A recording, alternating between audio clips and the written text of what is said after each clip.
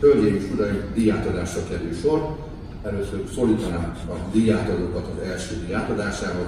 Az első díjat dr. Ragány Misa, az Emmi Kultúráért felelős államtitkárság előadóművészeti főosztály vezetője, valamint Márta István, a Magyar Fesztivál Szövetség elnöki adja. Kérem a színpadra és vegyék magukhoz az asztalon található díjat, jobbról, bal, balról jobbra haladott az első díj és a hozzá tartozó szobában szokott.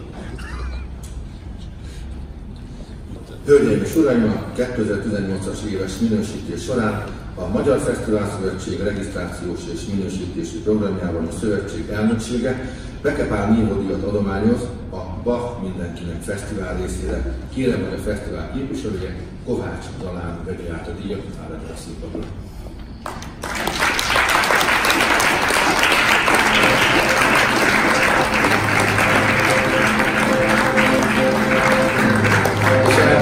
színpadra. protokoll fotó is természetesen, jelen a protokoll fotó készülnek.